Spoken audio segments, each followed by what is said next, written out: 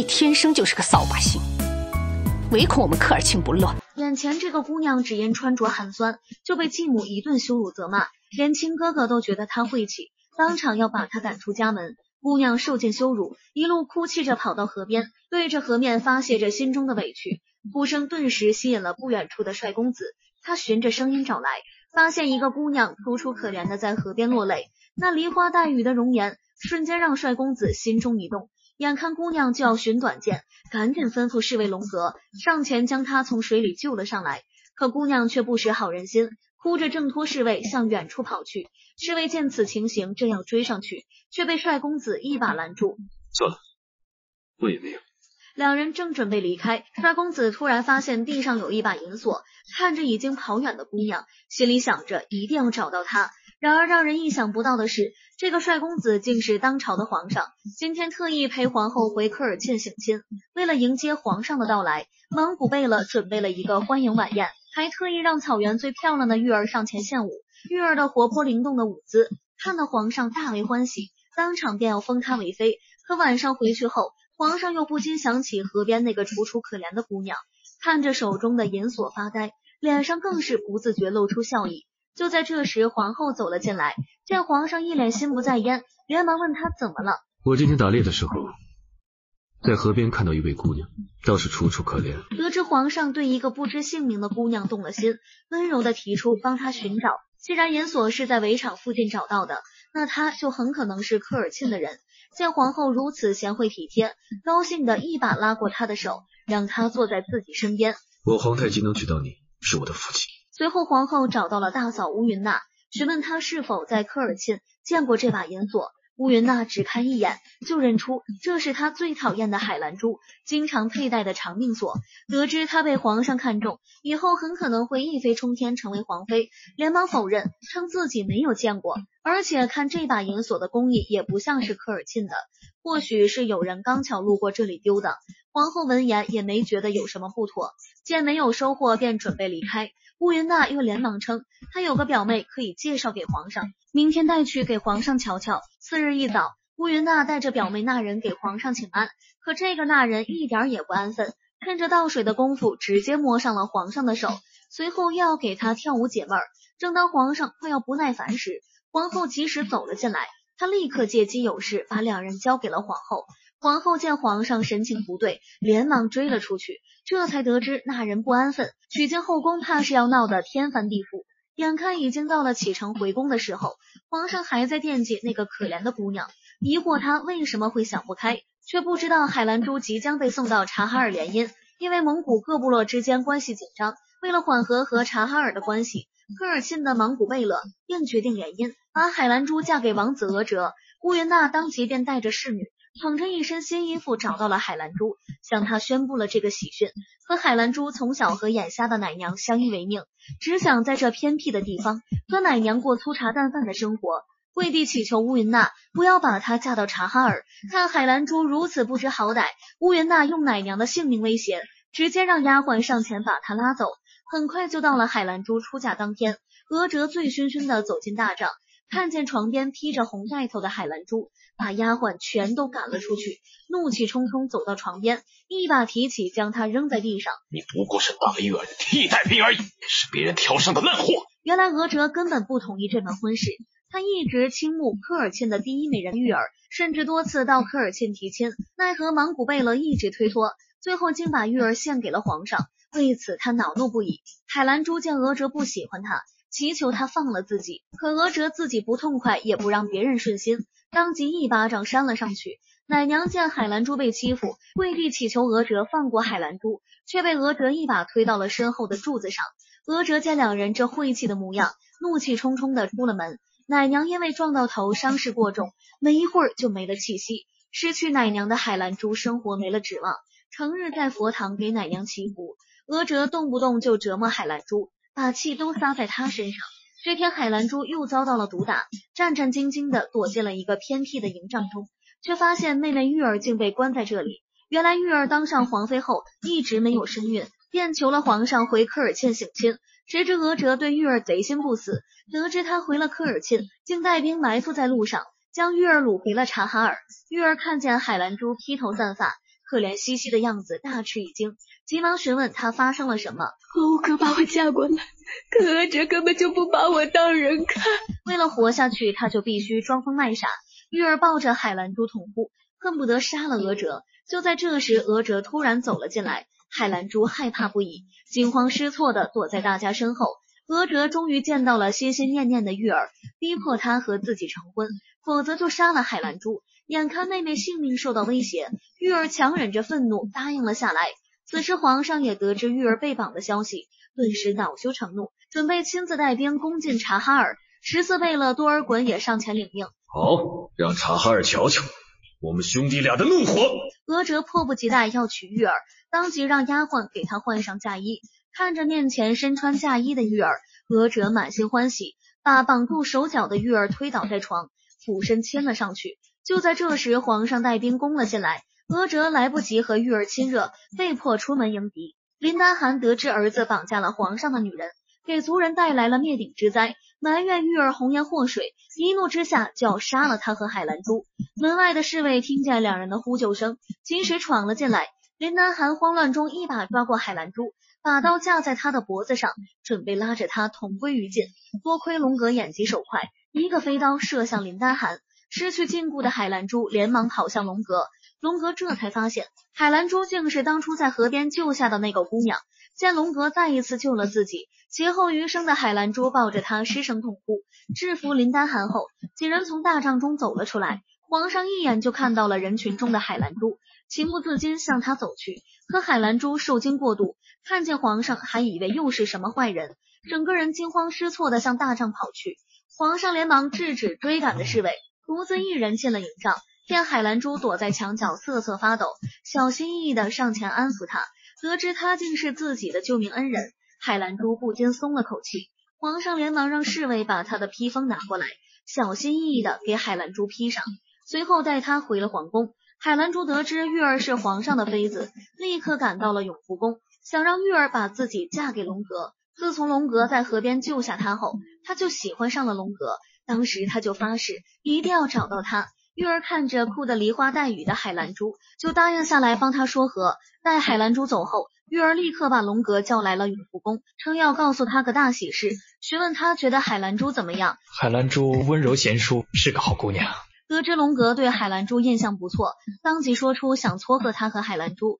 龙格闻言却慌忙跪了下来。玉儿以为他是看不上海兰珠，还想劝两句，没想到龙格竟吞吞吐吐的称大汗看上海兰珠了。玉儿闻言震惊不已。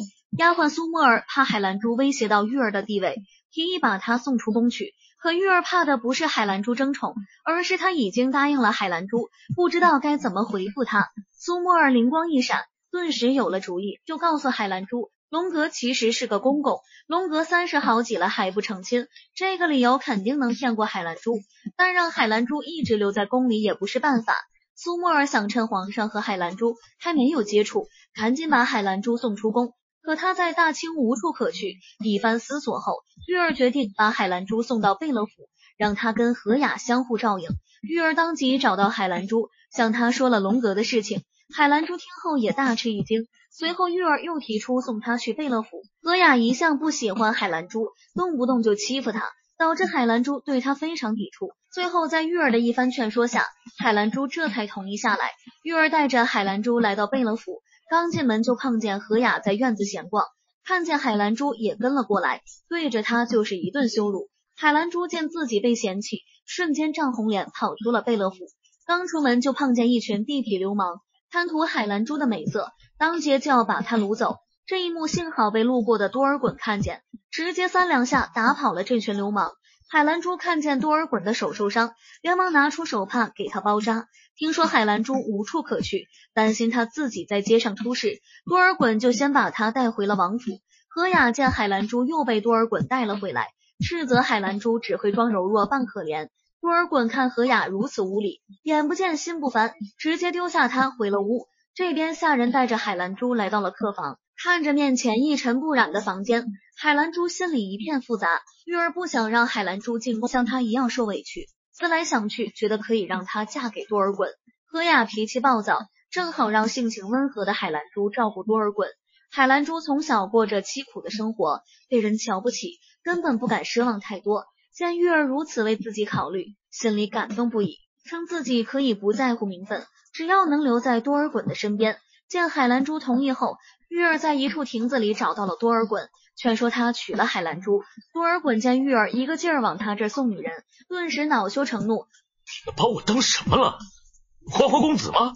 玉儿连忙向他解释，海兰珠跟何雅不一样，她懂事明理又会照顾人。可多尔衮心系玉儿，就连现在的福晋何雅都是因为不能抗旨被迫娶回家的，又怎么会娶海兰珠？玉儿一意孤行，觉得他所做的一切都是为了多尔衮好，不顾他的反对，让他等着两天后娶海兰珠进门。何雅得知玉儿把海兰珠送给了多尔衮，一气之下闯进永福宫，破口大骂。他无法忍受自己的姐姐不仅背着他给多尔衮找侧福晋，还在背地里说他不贤惠。何雅越说越气。当即就要去找皇上做主，把玉儿忘不了多尔衮的事抖出来。刚走到门口，就被皇后拦了下来，看着无理取闹的何雅，严厉的教训了他一顿。皇宫等级森严，就凭他刚刚顶撞皇上的妃子，就可以给他定罪。见何雅害怕了，这才语重心长的告诉他，如果玉儿和多尔衮的事情败露，不仅多尔衮性命不保，身为贝勒福晋的他也活不了。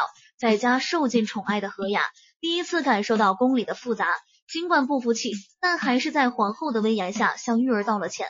皇后回宫后，发现皇上正坐在桌边喝茶，询问后才得知，最近宫里进贡了一批上好的锦缎，让他给后宫众人分赏。皇上想起当初遇见海兰珠时，他骨瘦如柴的可怜模样，顿时怜香惜玉。这后宫不是来了一位客人吗？你总得上点给人家吧。可皇后没发现皇上的偏爱。见他提起海兰珠，就和皇上提了海兰珠想嫁给多尔衮的事。皇上闻言心里不满，当我第一眼看到海兰珠，我就喜欢上她了。皇后这才知道，六年前那把银锁的主人正是海兰珠。得知皇上对海兰珠势在必得，玉儿后悔万分。她不应该把海兰珠和多尔衮牵扯到一起。平白让皇上对多尔衮起了猜疑，皇后觉得海兰珠封妃也是好事，这样科尔沁的地位会更加稳固，便让玉儿再去劝劝海兰珠。海兰珠得知玉儿又让她嫁给皇上，心里又急又气。虽然她出身不好，但也是一个堂堂正正的人，不是可以随意送来送去的。见玉儿离开后，海兰珠连忙收拾东西来到了贝勒府，想让多尔衮娶她，却被何雅直接赶了出来。皇上已经决定封海兰珠为妃，没有人敢在老虎身上拔毛。何雅劝多尔衮赶紧把海兰珠赶出去，可多尔衮心软，做不出如此狠心的事。何雅见此，跪在海兰珠面前，让她赶紧离开，不然他会连累整个贝勒府的。海兰珠见何雅和多尔衮为了她吵个不停，难过的抱着包袱跑了出去，却在门口一头撞进了皇上的怀中。见海兰珠红着眼眶。一副往外跑的架势，问他跑这来干嘛？海兰珠为人单纯，直接说出想让多尔衮娶她。皇上闻言恼火不已，但想起玉儿曾说要给海兰珠时间，不能用皇上的威严吓着她，只好压抑着心中的怒火，问他多尔衮的态度。见海兰珠一个劲儿的哭个不停，拉着他就要去找多尔衮，正好迎面撞上出门迎接的多尔衮。直接一巴掌就扇了上去，和多尔衮无关，是他不愿意娶我。皇上对海兰珠越发怜爱，斥责多尔衮对海兰珠的无情和冷漠。海兰珠哪里不好？海兰珠哪里配不上你？多尔衮无言以对，只能任由皇上打骂。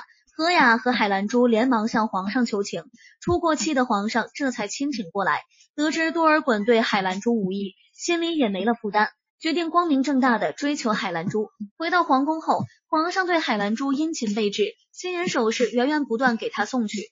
得知海兰珠喜欢花草，更是让人在后院种满了花。尽管如此，海兰珠还是心里不安，整天闷闷不乐。皇上见此，便带着他出门打猎。两人身着奇装，来到了附近的一片树林。